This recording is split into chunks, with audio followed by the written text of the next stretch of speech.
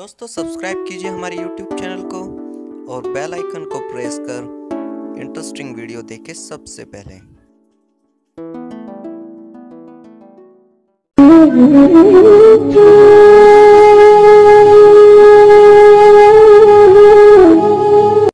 नमस्ते मित्रों, वैदिक क्रांति के दल के माध्यम से हम आपके सामने बहुत ही महत्वपूर्ण विषय रखने जा रहे हैं। विषय का नाम है लव जिहाद और बलात्कार। सबसे पहले आपको लव जिहाद के बारे में बताते हैं। लव जिहाद, जैसे कि आप जानते हैं कि जब कोई मुसलमान युवक किसी गैर मुस्लिम युवती को बहला फुसला कर झूठे प्यार का नाटक करके उसको इस्लाम में दीक्षित कर देता है और उसको उसके धर्म से खारिज कर देता है, उसी को लव जिहाद कहा जाता है। भारत में यही हो रहा है। भारत में जितने भी हिंदू, सिख या बौद्ध लड़कियाँ या जैन लड़कियाँ हैं, सबको वो बहला फुसला कर अपने इस्लाम में दीक्षित कर रहे हैं और उनके धर्म से खारिज कर रहे हैं। अब ये लव जिहाद आखिरकार होता क्यों है? आप जानते हैं कि मुसलमानों को ये जुनून सवार है कि भारत को एक इस्लामिक देश बनाना है। और ये मुझे कहने की आवश्यकता नहीं है कि उन्नीस में भी जो जो क्षेत्र जहाँ पर मुसलमानों की आबादी ज़्यादा थी, वही क्षेत्र पाकिस्तान और बांग्लादेश में चले गए। तो ठीक इसी के तहत उनका एक मुद्दा है कि भारत को इस्लामिक देश बनाने के लिए यहाँ मुसलमानों की आबादी ज़्यादा होनी चाहिए, और ये आबादी बढ़ाने के लिए इनके पास बहुत से तरीके हैं। कुछ तरीके आपको मैं बता रही हूँ। ध्यान देकर सुनिए। सबसे पहला तरीका ये है कि एक बीबी से अनेकों बच्चे पैदा करो। अब एक बीबी है तो उनसे ये कम से कम पाँच से लेकर दस बच्चे पैदा करते हैं। दूसरा तरीका ये है कि चार शादियाँ करो। चार शादियाँ भी इनके संविधान के अनुसार या इस्लाम के शरीयत के अनुसार जायज़ है। तो इसलिए एक बीबी से अगर दस बच्चे पैदा करते हैं तो चार बीबियों से चालीस हो गए। तो आप अनुमान लगा सकते हैं कि दिन रात इनकी संख्या किस प्रकार से बढ़ रही है और ये बहुत ही योजनावत तरीके से कर रहे हैं ताकि भारत को इस्लामिक देश बनाया जा सके। दूसरा तरीका ये है कि अब अपनी संख्या को बढ़ाने के लिए दूसरों की संख्या कम करना भी आवश्यक है। तो हिंदुओं की संख्या कम कैसे होगी कि उनकी लड़कियों को ही पटा लो उनकी लड़कियों से झूठे प्यार का नाटक करके उनको मुसलमान बना लो। जो हिंदू लड़कियाँ मुसलमान बन चुकी हैं, उनसे जो बच्चे पैदा होंगे, वो भी मुसलमान ही होंगे। तो इसी प्रकार मुसलमानों की संख्या दिन दुगनी, रात चौगनी बढ़ेगी। दूसरा अन्य तरीका और है कि घुसपैठ करवाओ। आप जानते हैं कि बांग्लादेश की जो सीमा है, वो बंगाल, त्रिपुरा आसाम इन क्षेत्रों से खुली हुई है और अनुमानन के तौर पर यहाँ हर दिन पाँच हज़ार मुसलमानों की घुसपैठ होती रहती है। वो इस बार आते हैं या उस बार चले जाते हैं या कुछ यहीं बस जाते हैं और उनको अपना रिश्तेदार बनाकर यहाँ के जो स्थानीय मुसलमान हैं, यहीं बसा लेते हैं। और आप देख सकते हैं कि दिल्ली, बॉम्बे, माद्रास, बेंगलोर, कलकत्ता और भी कई क्षेत्र हैं। जहाँ बांग्लादेश से मुसलमानों की खासी घुसपैठ हो चुकी है और इन्होंने बस्तियाँ भी बसा ली है। वो स्थानीय भाषा भी बोलने लगे हैं। तो इस प्रकार से अब तक पैंसठ सालों में बांग्लादेशी घुसपैठियों की संख्या अभी भारत में छह करोड़ के आसपास हो चुकी है।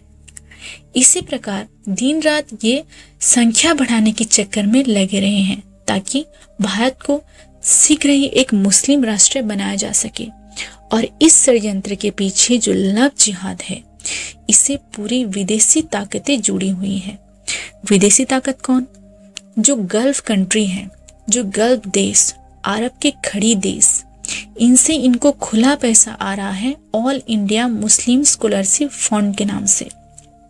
तो ये पैसा कहाँ आता है? यहाँ के मदरसों के मस्जिदों को, जहाँ बाकायदा मुसलमान युवकों को ट्रेनिंग दी जाती है कि तुम्हें किस प्रकार से हिंदू लड़की की मानसिकता को समझना है और किस प्रकार से उनको फंसा लेना है। अपने झूठे प्यार के नाटक में उनको सेकुलर बन के दिखाना है। उनको कट्टर बन के नहीं दिखाना है। उसको सेकुलर बन के, मीठा बन के ये दिखाना है कि मैं ही तुम्हारा अपना हूँ। दुनिया में तुम्हारा कोई अपना नहीं है। और होता भी यही है कि मुसलमान लड़का हिंदू लड़की को रेस्टोरेंट में ले जाएगा।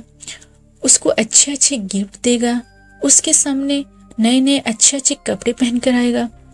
उसको सुंदर दिखाएगा। अपनी दाढ़ी वगैरह काट के रखेगा। तो ऐसा करके वो उस लड़की को पहले तो इम्प्रेस करता है और बाद में उसको मुसलमान बनाकर शादी कर लेता है। इस प्रकार ये काम दड़ाले से चल रहा है। ये जो लव जिहाद है इसलिए कर रहे हैं ताकि हिंदुओं की संख्या कम किया जाए। और हिंदू लड़की या सिख लड़कियाँ या बौद्ध लड़कियाँ सबको मुसलमानों से शादी करके मुसलमानों की संख्या बढ़ा दी जाए। दूसरा महत्व विषय, महत्वपूर्ण विषय है बलात्कार। जितना भी मीडिया उठा ले जा रहे हैं, चाहे वो प्रिंट मीडिया हो, चाहे इलेक्ट्रॉनिक मीडिया हो, सब में आपको बलात्कार की खबरें सुनाई देती होंगी। और बलात्कार में ये आश्चर्य की बात है कि केवल हिंदू महिलाओं को ही बलात्कार क्यों हो रहे हैं? मैं तो कभी सुनी ही नहीं कि किसी ईसाई महिला का या किसी मुस्लिम महिला का बलात्कार हुई हो। आपने अगर सुना हो तो मुझे अवश्य बताएँ, क्योंकि अगर ऐसा होता भी है तो अट्ठानबे प्रतिशत या निन्यानबे प्रतिशत केस में हिंदू महिलाओं का ही बलात्कार क्यों हो रहे हैं? और ये अपने आप में बहुत ही सोचने वाली बात है। ये दो महत्वपूर्ण मुद्दे हमने आपके सामने रखे। महत्वपूर्ण इसलिए है क्योंकि जो समाज में अपनी स्त्रियों की रक्षा नहीं कर पाता, वो समाज अवश्य नष्ट हो जाता है। और ये बात मैं नहीं कह रही हूँ। ये बात कह रहे हैं योगी, योगीराज श्री कृष्ण अर्जुन से कि हे श्री कृष्ण जिस कुल की स्त्रियाँ दूषित हो जाती हैं, वो कुल अपने आप ही नष्ट हो जाता है। तो इसलिए मेरे भाइयों और बहनों, आपको मैं ये बार बार बता रही हूँ कि अपनी स्त्रियों की रक्षा करने के लिए हम कटिबद्ध हों और एकजुट हों। और इसलिए आपसे आह्वान करती हूँ कि वैदिक क्रांति दल के साथ जुड़ें और हम अपनी स्त्रियों की रक्षा कर पाए। केवल हम अपनी स्त्रियों को समझाना नहीं है, बल्कि हमारे स्त्रियों पर जो कोई बुरी नज़र डालेगा तो हम उनकी आँखें निकाल देंगे।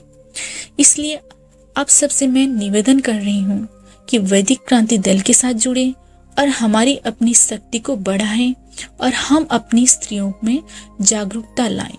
ओम नमस्ते।